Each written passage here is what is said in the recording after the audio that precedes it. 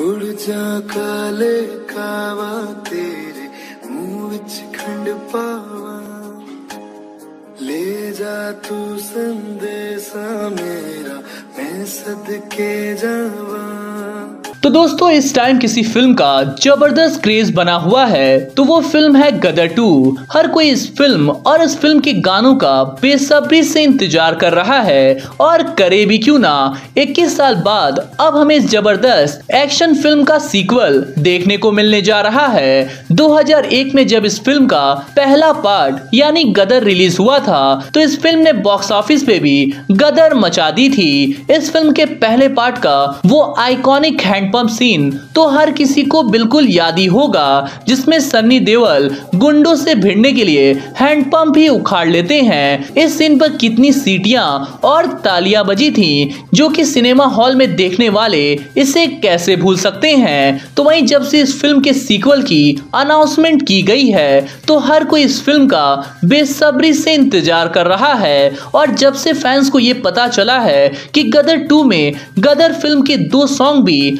हमें सुनने और देखने को मिलेंगे, तब से फैंस की एक्साइटमेंट इस फ़िल्म को लेकर और बढ़ गई है। जी हाँ दोस्तों, आपको बताना चाहेंगे कि इस फ़िल्म में हमें गदर के दो सॉन्ग उड़ जा काले कावा और मैं निकला गड्डी लेके सुनने को मिलेंगे। और इस सॉन्ग को कोई और नहीं, बल्कि जुबिन नौटियाल गा सकते हैं। जी हाँ दोस्तों, हाल ही में जुबिन नौटियाल ने दैनिक भास्कर से अपने नए गाने के बारे में बात की है। उनसे पूछा गया कि अपने आने वाले गानों के बारे में बताइए। तो उन्होंने बताया कि इस साल उनके दो फ़िल्मों में गाने आने वाले हैं। एक है मिशन मजनू, जो कि सिद्धार्थ मल्होत्रा और रश्मिका मंदाना स्टारर फ़िल्म है, जो कि इसी साल रिलीज़ होने वाली है। और दूसरी जो फ़िल्म है, वो है गदर टू। जी हाँ दोस्तों, जुबिन नौटियाल ने ये कंफर्म कर दिया है कि उनकी आवाज़ हमें गदर टू फ़िल्म में सुनने को मिलेगी। जैसा कि आपको पता ही है कि जुबिन नौटियाल